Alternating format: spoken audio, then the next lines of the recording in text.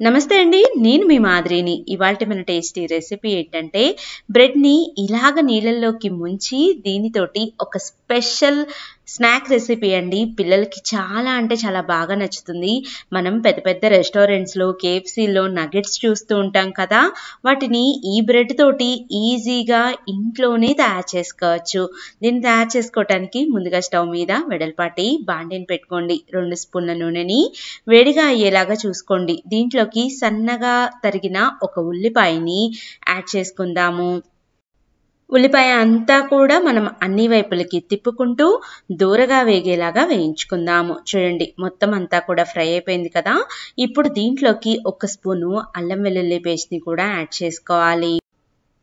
ఇది కూడా వేగిపోయాక ఇక్కడ నేను ముందుగానే ఒక మూడు బంగాళదుంపల్ని తీసుకున్నానండి. బంగాళదుంప మొత్తాన్ని కూడా వీడియోలో చూపిస్తున్నట్టుగా ఇలాగా మెత్తగా ఉడకపెట్టుకున్నాను. ఉడకబెట్టాక ఇలాగ డైరెక్ట్గా మనం చేతితోటి నలిపేయకూడదండి. ఇలాగ చక్కగా ఉడికిన బంగాళదుంపని కూడా ఇలాగ తురుముకోవాలి.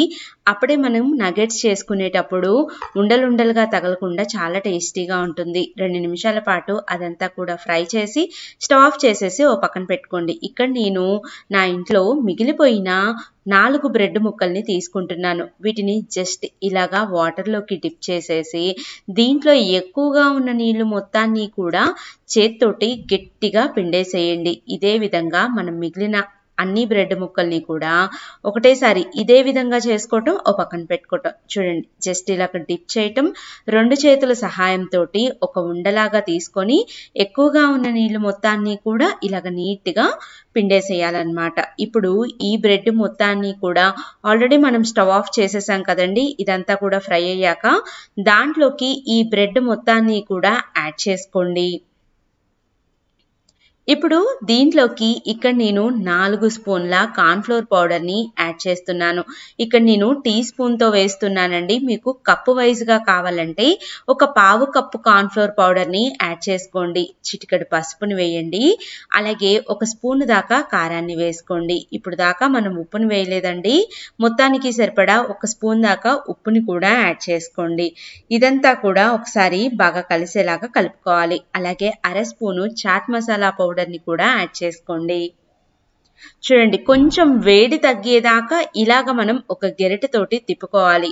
వేడి తగ్గాక చేతితోటి చక్కగా మనం చపాతీ ఉండ కలుపుకుంటాం కదండి అదే కన్సిస్టెన్సీలో కలుపుకోవాలి. చూడండి మనం చేతులు పెట్టే వేడి ఉంటే గోరువెచ్చగా ఉన్నప్పుడే ఇలాగా మొత్తం అంతా కూడా బాగా కలిసేలాగా కలుపుకోండి. చూడండి మొత్తం అంతా కూడా మనకి ఉండలాగా రెడీ అయిపోయింది కదా. ఇప్పుడు మనం ఏం చేయాలంటే దీన్ని నగెట్స్గా చేసుకుందామండి. చాలామంది ఇలాంటివి చేసే చేసేటప్పుడు అప్పడాల పీటకి అంతా అంటుకుపోతుంది అనుకుంటారు. నేను ఇవాళ మీకోసం ఒక చిన్న చిట్కా చెప్తున్నానండి. ఇక్కడ నేనైతే ఆడి ఎకోబేక్ ఫుడ్ పేపర్ని వాడుతున్నాను. ఈ ఫుడ్ పేపర్ని వాడటం వల్ల మనకి కింద అతుక్కోదు. అలాగే మనం దీన్ని రియూస్ కూడా చేసుకోవచ్చండి. ఇలాగా మనకి రోల్స్ అన్నీ కూడా అవైలబిలిటీలో ఉంటాయి. మనకి ఎంత పేపర్ కావాలంటే అంత పేపర్ వరకు కట్ చేసుకోవచ్చు. దీన్ని ఎన్నిసార్లు వాడినా కూడా మనకి పాడవదనమాట. చూడండి కింద అయితే అస్సలకి అంటుకోదు. ఎంత జిడ్డుగా ఉన్నా లేదా ఎంత జావగా ఉన్న పదార్థాన్నైనా దీని మీద పెడితే కింద అనేది అంటుకోకుండా చక్కగా వస్తుంది. చూడండి నేను అప్పడాల కర్ర కూడా తీసుకోలేదు. జస్ట్ చేత్తోనే ఇలాగ మొత్తం అంతా కూడా స్ప్రెడ్ చేస్తున్నాను. చూడండి ఎంత ఈజీగా వచ్చేసిందో.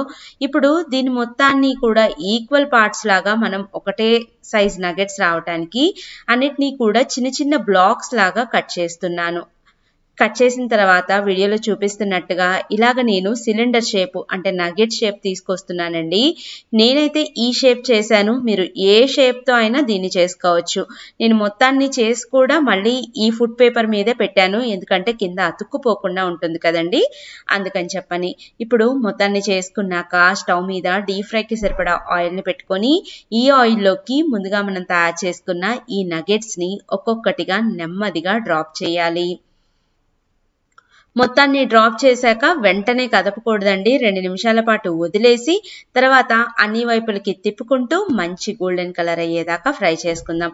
మీకు ఇంకో విషయం చెప్తున్నానండి. ఒక్కసారి ఈ నగెట్స్ని తయారు చేసుకొని కింద ఏదైతే నేను ఫుడ్ పేపర్ని చూపించానో ఆ ఫుడ్ పేపర్ని ఎయిటెడ్ కంటైనర్లో కింద వైపు వేయండి. తర్వాత ఈ నగెట్స్ని పైన పెట్టేసి డీ ఫ్రిడ్జ్లో పెట్టుకోండి. మీకు నెల రోజుల దాకా నిల్వ ఉంటుంది. ఎప్పుడు కావాలంటే అప్పుడు మీరు చక్కగా ఫ్రిడ్జ్లో నుంచి తీయటం వేడి వేడి నూనెలోకి ఫ్రై చేస్తే పిల్లలు ఎంతో ఇష్టంగా తింటారండి. చూడండి మొత్తం అన్నీ కూడా మనకి ఫ్రై అయిపోయినాయి కదా. దీంట్లోకి టమోటా కచప్ కానీ లేదా మైనీస్ కానీ పెట్టుకొని తింటే టేస్ట్ అద్భుతంగా ఉంటుందండి. తప్పకుండా మీరు ఈ నగెట్స్ని ట్రై చేయండి. ఇంట్లో అందరూ కూడా చాలా ఇష్టంగా తింటారు. నా వీడియో నచ్చినట్లయితే ఒక చిన్న లైక్ చేసి మీ ఫ్రెండ్స్కి ఫార్వర్డ్ చేయండి. మరిన్ని వీడియోస్ కోసం సబ్స్క్రైబ్ చేయండి. Thank you